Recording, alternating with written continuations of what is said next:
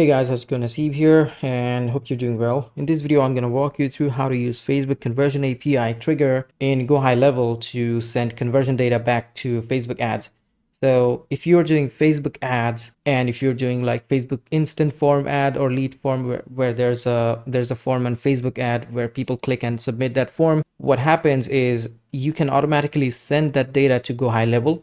And in Go High Level, where you decide that this is a good lead, what you can do is you can send this conversion data back to Facebook ads saying that this is a good lead, generate more leads like this. This is basically the use case and I'm going to show you how you can do this. This is a really simple process. So if you watch the whole video, you can you can see how I do it and you could do this for your business as well. And Facebook actually claims that doing this actually improves the lead quality by 21% and reduces the cost per lead by 16%, which is a huge saving, I would say, if you're doing Facebook ads for long term.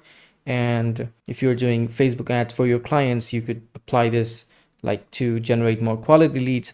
So without further ado, let's just jump right into it. First of all, I'm gonna go to my Go High Level account and say whenever there's a Facebook lead form submission, the data is gonna automatically create pipeline uh, opportunity here.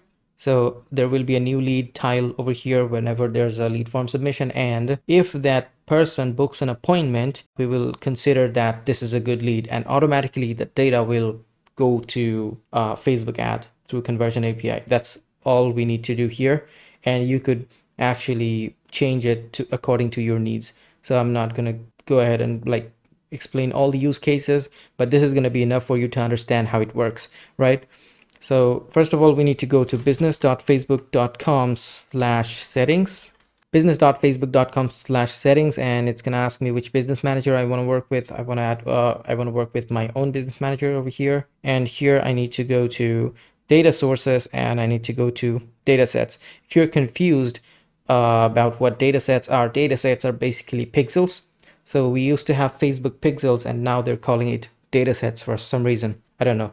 So here you can see a few pixels or data sets, whatever you call it. Um, I'm going to create a new one just to show you how it works.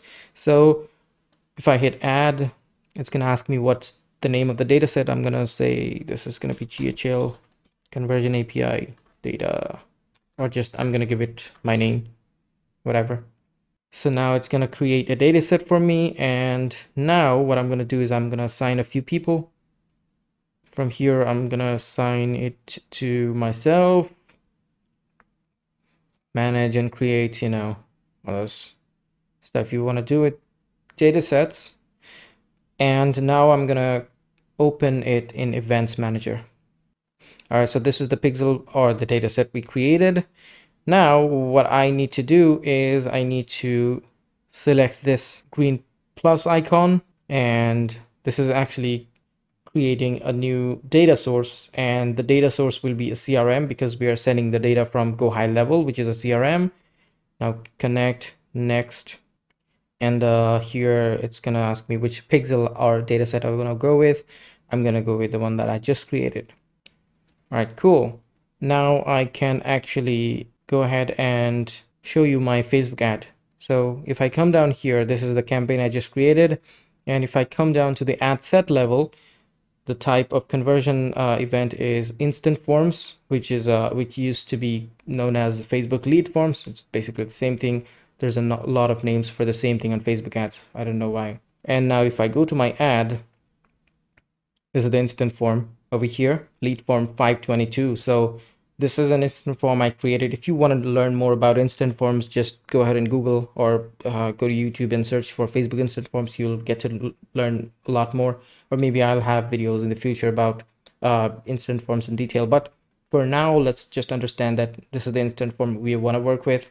And yeah, it's pretty simple. Just create a form and follow the steps. That's all. If I now go to go high level, I want to go to settings and integrations I want to now connect my Facebook page. This is a demo account, by the way, guys. And now it's going to ask me which Facebook page I want to connect with this Go High Level account, you know, all those basic stuff. I think it's automatically fetched my Facebook profile or, and Facebook page. Okay, it's, ask, it's asking me to select the page. Okay, connect Instagram and Facebook. Cool. All right, now I have an instant form that I just showed you connected with my Facebook page. It's going to automatically fetch that instant form, basically all the instant forms that's connected to this page.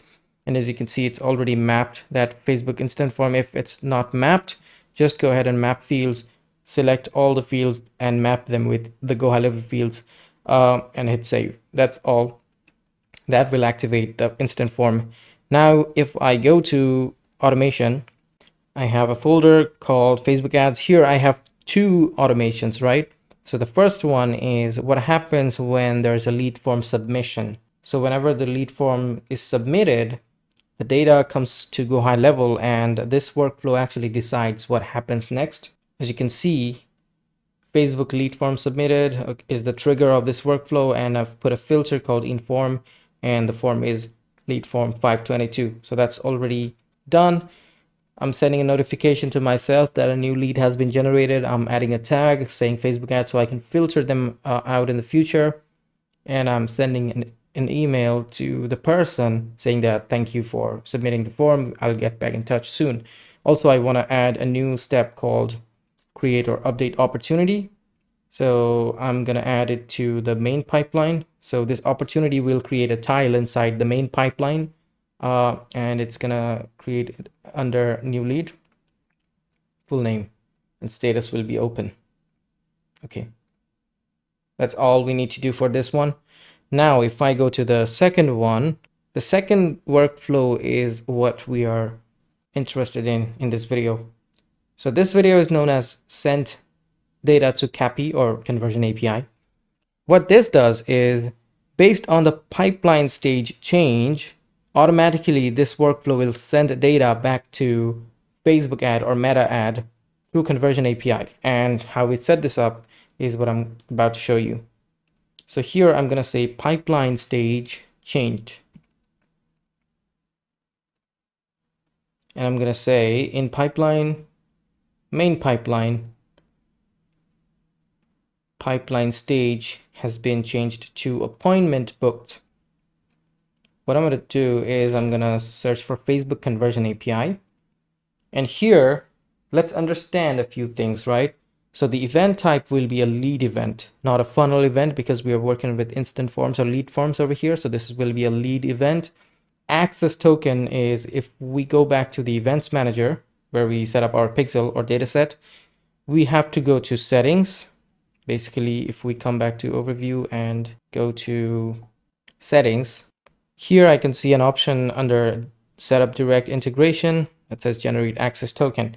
So it's going to ask me to create an access token, which I'm going to copy over and come back to my Go High Level account and paste it over here. So access token is done. Now it's asking for a pixel ID.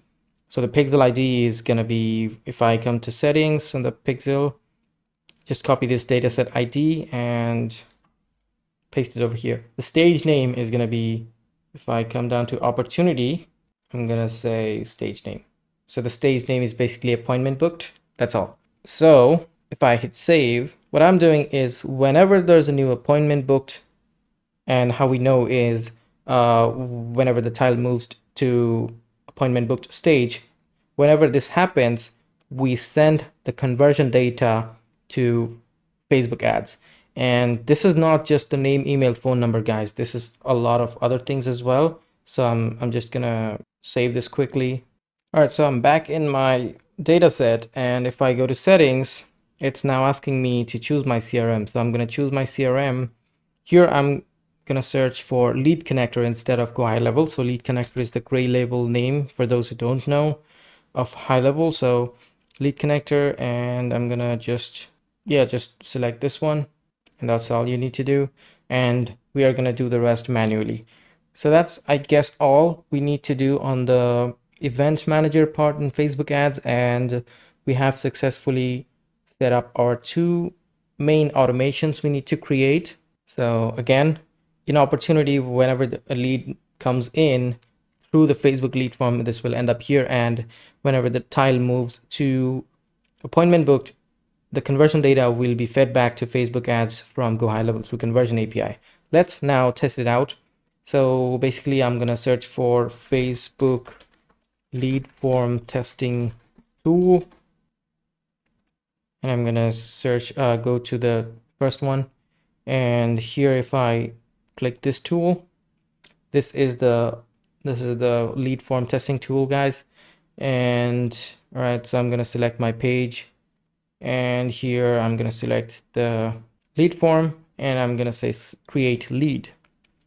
This is gonna send a test lead to the CRM all right guys so as you can see a test lead has been already generated and if now I move this lead to appointment booked this data should go back to Facebook ads through the conversion API. Now, now let's actually check the automation, uh, whether it was executed successfully. So we will go back to automations and the first one we're going to look into is this one. So if I look into execution logs, as you can see, all the events that I wanted to execute were, were actually executed successfully. Now, if I look at the second one, if I look at execution logs, now, um, okay, added to workflow because the pipeline stage was, was changed. And as you can see, Facebook conversion API was successfully executed. And as you can see, this is the metadata, uh, which was received as a response from Facebook. And yeah, that's pretty much what you need to do. Although it will take some time for you to see the, the data coming to uh, this overview part in the data set. It takes like half an hour for the first time. But uh, as the workflow starts executing for real leads you will actually see leads coming in to this.